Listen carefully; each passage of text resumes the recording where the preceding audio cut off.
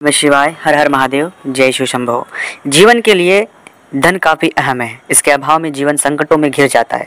अगर आप पैसा की परेशानी के कारण दुख और तकलीफ़ का सामना कर रहे हैं तो कुछ ज्योतिषी उपाय को आजमा कर देखें। इन सरल टोटकों से माँ लक्ष्मी प्रसन्न होती है, वहीं व्यक्ति पर धन की कृपा बरसती है। तो आइए जानते हैं कुछ सरल ऐसे उपाय, जिनसे माँ लक्ष्मी की कृपा पर असीम होगी। सबसे पहला उपाय है कि शनिवार को अमावस्या, शनि जयंती या किसी शुभ मुहूर्त में शनिवार के दिन उड़द की दाल को पीस कर उसके दो बड़े बनाएँ। शाम को सूर्य अस्त के समय इन पर दही और सिंदूर लगाएँ। बड़ों को ले जाकर किसी पीपल के पेड़ के नीचे रखकर वृक्ष के वृक्ष को प्रणाम करें। पीछे की ओर मुड़कर देखे बिना घर लौटाए ध्यान रखें, रास्ते में कहीं रुके नहीं और न किसी से बात करें। इस उपाय को लगातार इक्कीस दिन तक करें।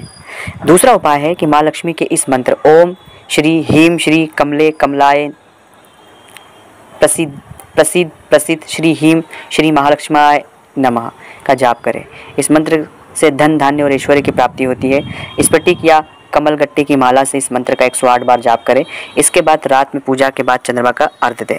मंत्र में एक बार फिर से दोहरा देता हूँ। ओम श्री हीम श्री कमले कमलाय प्रसिद्ध प्रसिद्ध श्री हीम श्री महालक्ष्मी आय नमः। इसका जप करने से जीवन में कई सारी भाग्य में वृद्धि के लिए नियमित रूप से सुबह स्नान करने से पहले पानी में चुटकी भर हल्दी मिलाकर स्नान करें।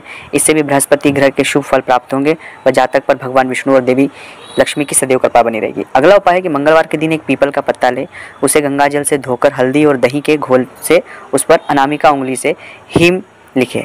सूखने के बाद इसे पर्स में रखें, आपकी धन संबंधी समस्या खत्म हो जाएगी। तो इन सभी उपायों को अगर आप करेंगे तो आपको फ़ायदा होगा। अगर आप चाहते हैं कि अपनी कुंडली का विश्लेषण आप हमसे करवाएँ, स्क्रीन पर नंबर चल रहे हैं व्हाट्सएप पर अपॉइंटमेंट लेकर हमसे बात कर सकते हैं। ओम नमः शिवाय, हर हर महादेव, जय शिव शंभो।